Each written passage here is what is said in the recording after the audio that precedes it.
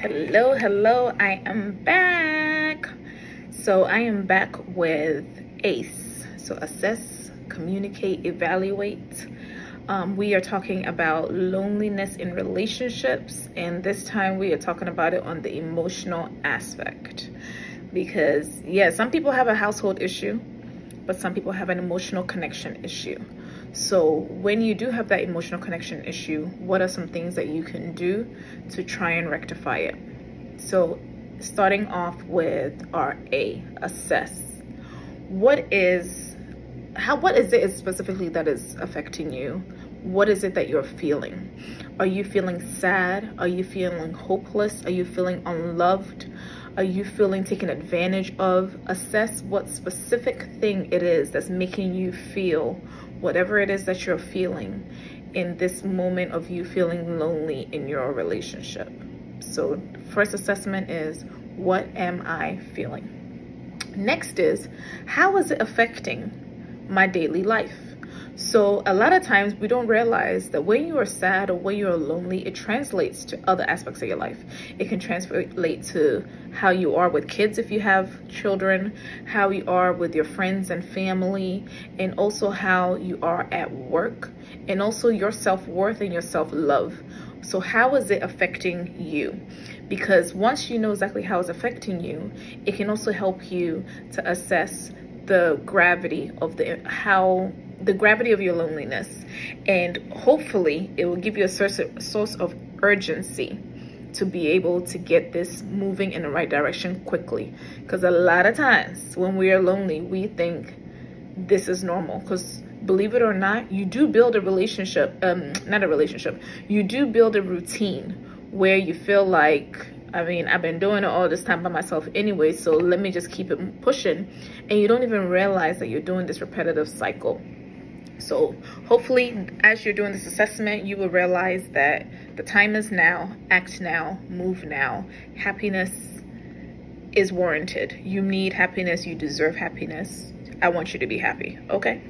All right, so then the next thing that we, we wanna assess is what is my love language? So I'm feeling lonely, but what is my love language? Because maybe your partner thinks your love language is gifts and that's not your love language. Maybe acts of service is your love language, or words of affirmation, or please go ahead and take the love language. It's, it's everywhere. You know it.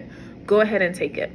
But what is your love language? Do you actually know what it is to be able to explain it to somebody else? So figure out what exactly your love language is, and are you receiving that love language as well? And then believe it or not, you also want to find out what is your partner's love language. It's very easy in loneliness to think about just us and what we need and what we want. Very, very easy. Because at the end of the day, we're the one feeling it. So, you know, why don't I have to worry about my feelings? But also think about your partner as well. What is their love language? What is it that they need from you in order to feel fulfilled? Because if they don't feel fulfilled, chances are they're not going to give you what you want as well because it's a very myopic thing where we are all focused on what we need at times that we forget about the other person. So I'm telling you, do not forget about what the other person needs as well. Figure out what is also their love language and how can you meet that. Then we are moving to C, communicating. So you've done the full assessment. You know what it is the issue is. You know how you're feeling now we're gonna articulate it to our partner. So starting off with expressing, you know what, honey? This is how I'm feeling right now. Don't generalize it to this is how you you are making me feel. Or don't generalize it to I have been feeling like this for the past 20 years because the person's gonna feel attacked. So right now in this moment, I am feeling like I'm all alone. I feel like we are disconnected. I feel like we're not on the same page. And I'm struggling with what to do about it. And I just want to bring it to your attention because you mean a lot to me. And I want us to be able to work on it together. So you're communicating your feelings to your partner. And then you're going to communicate your desire for the connection. So, why do you want to be connected to your partner? Explain that to them. Like, I want to be connected because I feel like when we're connected, we're more in sync. I feel like when we're connected, there's happiness. I feel like when, when we're connected, our household or our situation or whatever it is runs smoother. I feel like I'm more productive. Whatever it is that you want, explain it to the person. I feel connected when we insert your own language okay? And then you're also going to communicate your love language. Well you know honey my love language is words of affirmation. So i feel like to be more connected i would really love it if you could help me out um, and let's learn this together. What is not help me out that was wrong term but what is it that we can do together for us both to remember you to remember the acts of um, that words of affirmation is my love language and for me to communicate that I need more of it. So what can we do together to be able to make this work? And then you're moving on to I thought your love language was this. What do you think about it? What is it? What would you think that your love language is? And how can I meet this need that you have? Because I love you, I want to express that I love you. How can I best express that to you? So this is the communication part. Assessment was by yourself. Communication is with your partner. What can we do together and how can I explain to you what it is that I want? Then we're going to evaluate last but not least. So next we're evaluating and let's evaluate because sometimes we need a reminder. Why did y'all get together in the first place? Like what was it about this person that was so spectacular? That you decided that this was your person? What was it? If you have to write it down, write it down. If you have to think it out loud, think it out loud. But communicate it with your partner if possible. What, actually, you probably should, but what is it about the person that attracted you? Do they still have some of those qualities? Or are those qualities now being masked by all the negativity? Because a lot of times when there's negative moments, we forget the positive. Because I don't know, somebody's law the positives always get minimized when there are negatives involved. So what is it about the person that you loved? What are their positives? And then we can focus on that because then that brings a positive light into your relationship. You know that there was something there and that if something there and it's worth fighting for or it's worth the efforts.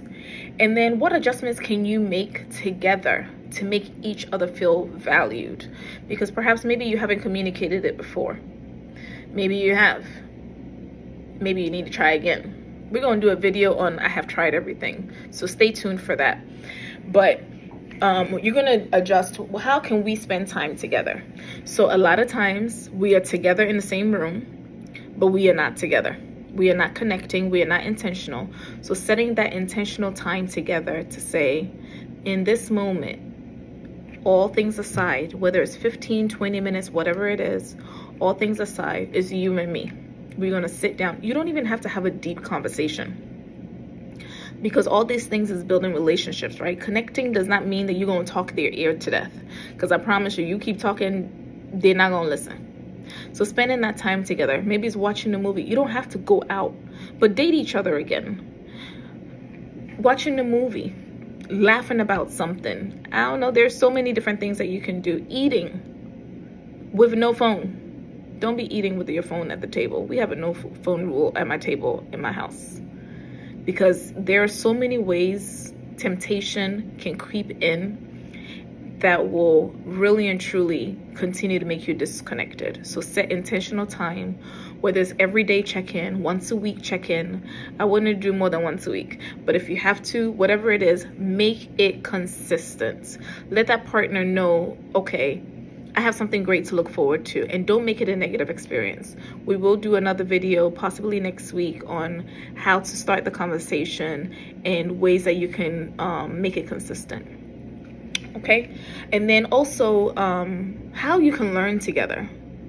Because if you're disconnected and you're feeling alone emotionally, one of you, or maybe both, are lacking information. You're lacking information on communicating. You're loving. Um, you're lacking information on um, expressing yourselves, and also a lot of other things that I can't think of right now.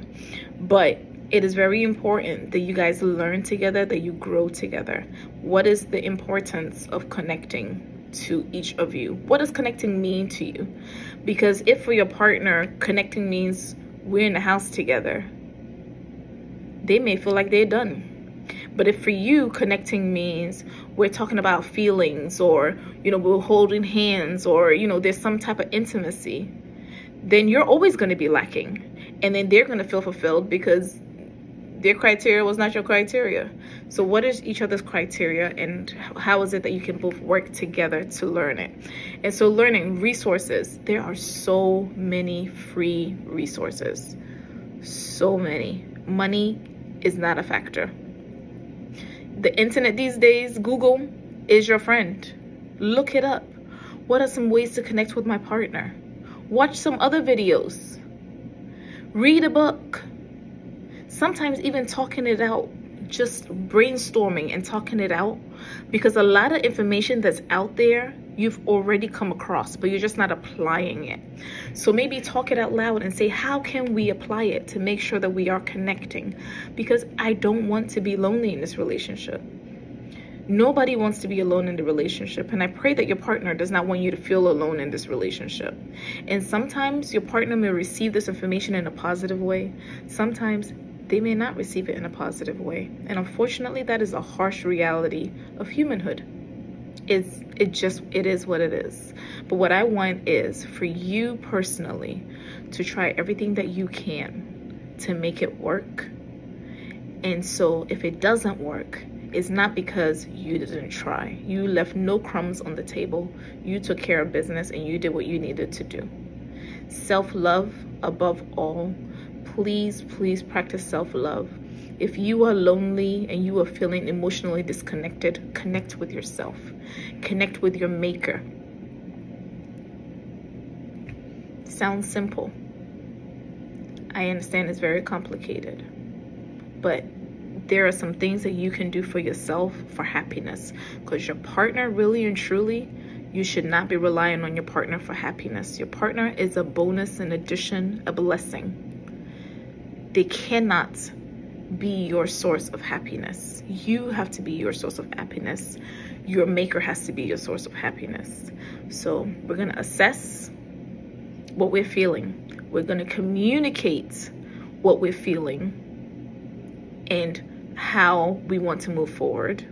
And then we're going to evaluate what we can do together to make this work or what I can do for myself to make myself happy. Not even or, and, and. In fact, put that first. And what can you do for yourself to make this work? I pray that you guys are blessed, and I will see you next week.